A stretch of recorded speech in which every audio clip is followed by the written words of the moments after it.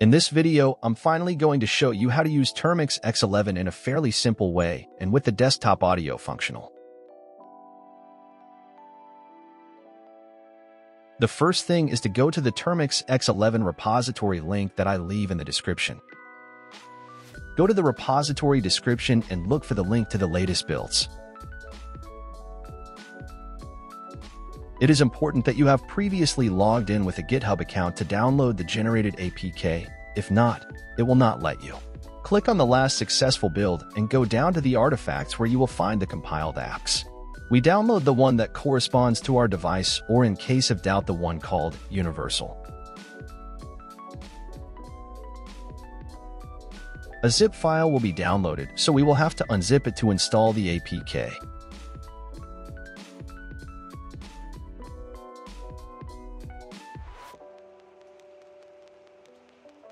We install the APK, and we will have Termux X11 installed.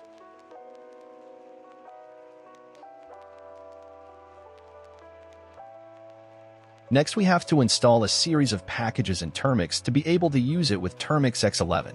We start Termux and install the packages with the commands you see on the screen.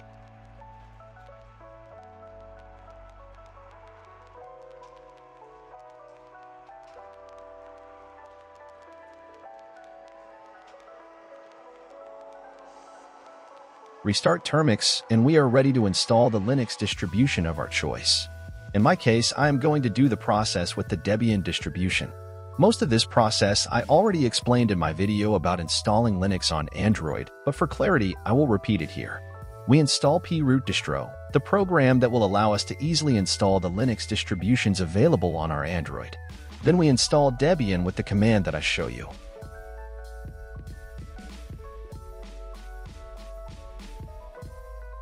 We log in Debian. We update the packages.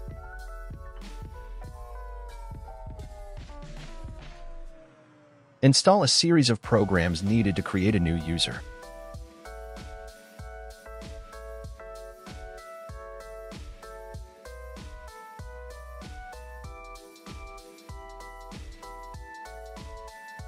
We add a new user, in this case called DroidMaster, and set its password.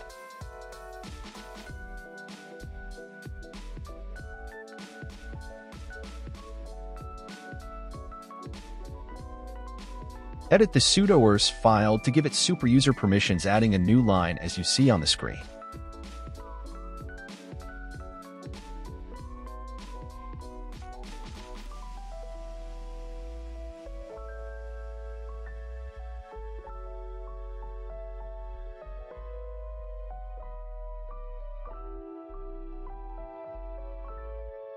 We change the user to DroidMaster and check that we have administrator permissions.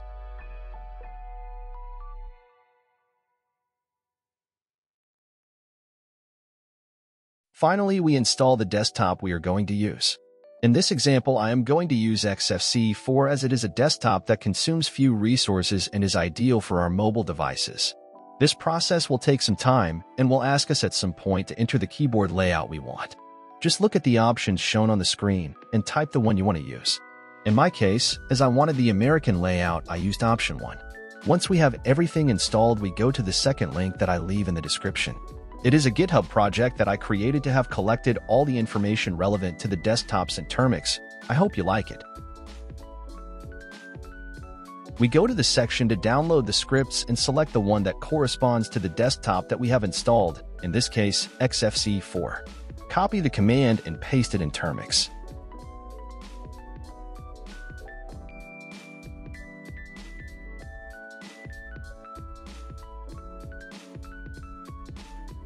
We give run permissions to the script just downloaded and run it to launch the desktop and connect to the Termux X11 application.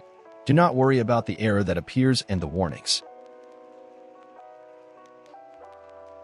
We open the Termux X11 application and it will open the desktop inside Debian. We already have Termux X11 running in Debian.